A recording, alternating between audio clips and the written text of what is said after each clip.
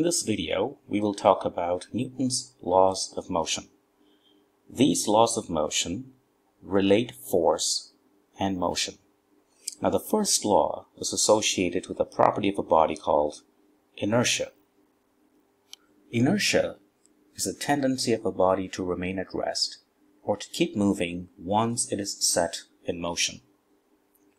The second law relates force to acceleration through the proportionality constant mass. The third law describes action and reaction, which are two opposite forces, but equal in magnitude. Before we discuss these three laws in more detail, let us first look at the concept of force. Force is a vector, and we measure force in the SI units of newtons. The abbreviation is capital N. Examples of force. Weight. Weight is a form of force. Now, this is the definition of weight. Weight, since it is force, it is measured in the unit of newtons. Essentially, the definition of weight is mass of an object times the strength of gravitational acceleration. So mass is measured in kilograms. G is the gravitational acceleration measured in the units of meter per second squared. So the direction of weight, since weight is a force, is the same as the direction of the gravitational acceleration, which is downward.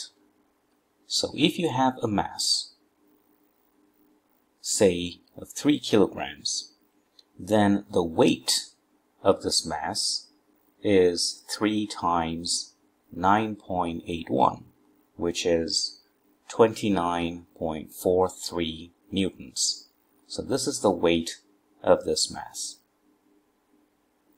So you see, mass is a scalar and weight is a vector. Another example is the normal force. Normal force N is a force that results when something is pressing against a surface. So let's say you have an object, a box of some kind. The weight of this box is pressing against this table. Let's say the weight of this box is 10 newtons. Now the surface of that table will in turn press against the box in an opposite direction. So this upward force shown by this blue arrow is the normal force N. And the magnitude is also the same as the weight, which is 10 newtons. So this is the weight and this is the normal force. Another example of normal force is let's say if you have a wall and you press a box, let's say horizontally like that by pushing it against the wall. So this is the force that you supply. Let's say it's 20 newtons. Now what the wall would do, it would press against the box in an opposite direction like that. And this normal force will have the same magnitude as the force that you apply on the object, which is again 20 newtons. So the direction of these normal forces are always 90 degrees with respect to the surface on which the object is pressed. So here is 90 degrees, and in this case it is also 90 degrees. So that's normal force. Other examples include tension, let's say in a string, friction that slows down a motion, and so on. So this is the first law definition, the definition of Newton's first law. A body at rest remains at rest, or a body in constant velocity motion remains that way unless there is a net force acts on it. In other words, when no net force acts on a body, the body either remains at rest or moves with constant velocity in a straight line. Once a body has been set in motion, no net force is needed to keep it moving. So a body acted on by no net force moves with constant velocity, which may be zero, and therefore zero acceleration, because constant velocity means zero acceleration. This brings us to the second law, which states the net force acting on a body, the word net is important, equals mass times the acceleration of the body. The mass of the body times the acceleration of the body. So you see, when there is no net force, there is no acceleration. So the net force controls the acceleration, or the acceleration produced in a mass is proportional to the net force imparted on it. Now, what is a net force? A net force is actually a vector sum of forces. Now, let's say you have an object with mass m, and it's acted upon by, let's say, three forces. So, two going to the right and one going to the left. So, the first force is, let's say, 2 newtons. The second one is, let's say, 6 newtons. And the one opposing or going to the left is, let's say, 3 newtons. So how do you calculate the net force on this body M? So in this case, the net force is given by 2 plus 6 i hat. i hat means a vector, unit vector that goes along the right hand side or along the positive x direction, positive x-axis direction, plus minus 3 i hat. So these two forces refer to that and that, and this one is referring to that. So the net force works out to be 8 minus 3i hat, which is 5i hat in the unit of newtons. So if the mass is, let's say, 2 kg, 2 kilograms, then the acceleration must be 5 i hat, which is the net force, divided by the mass, 2, which is 2.5 i hat meter per second squared. You see the direction of the acceleration and the direction of the net force are the same because these are two parallel vectors. So now you see if you have an object that is moving with a constant velocity of let's say 5 i hat meter per second so since the velocity is constant, the acceleration is zero. And from Newton's second law, that implies the net force acting on this object is also zero. So as long as the net force is zero, it will keep on moving with a constant velocity of 5 i hat meter per second. So you see how Newton's first law and second law are related in a very intimate way. Just a quick example. A net force 5 newtons is exerted on a box with mass 3 kg. So what is its acceleration? It's a straightforward problem. So you have a, a mass, a box, let's say with a mass of 3 kg, and the net force is acting in some direction. Let's assume it's going to the right. So this is the net force, which is 5 newtons, I hat, okay, so the acceleration is obviously will point in the same direction as the direction of the net force.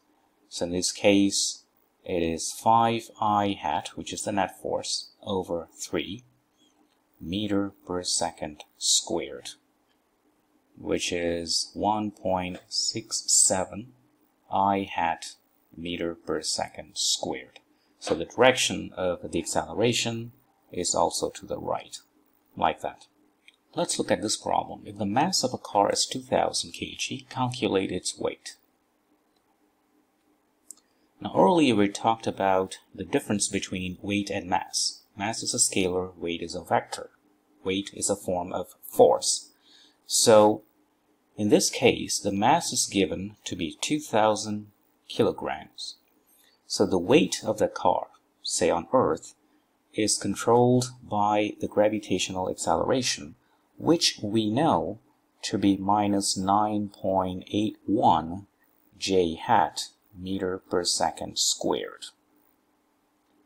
So multiplying these two will give you the weight as minus 19,620 newtons. 620 j hat newtons. So the fact that it is a minus j hat means the weight of this car is heading downwards as it should. Now let's look at the third law. Newton's third law of motion states to every action there is always opposed and equal reaction. Now this statement, action and reaction, are forces. They are of equal magnitude but opposite in direction. Now what this means is that when two bodies interact, the forces on the bodies from each other are equal in magnitude but opposite in direction. So equal in magnitude, opposite in direction. So let's look at this setup. So you have a box A and you have a book B leaning against that box in the manner shown. So of course at the contact point, which is here, there will be a force exerted by the book B on the box A and it's heading like that. So this arrow here, the red arrow, is the force on A by B. At the same time, the box will exert its own force on the book B like that. So now this blue arrow is force on B by A. So let's call the force on A by B to be F A by B. And let's call the force on B by A as FB by A. So the third law says these two forces are equal in magnitude but opposite in direction as you can see. The blue arrow is heading to the right and the red arrow is heading to the left. But the magnitudes of these two forces are the same. So that is the essence of the third law, Newton's third law of motion.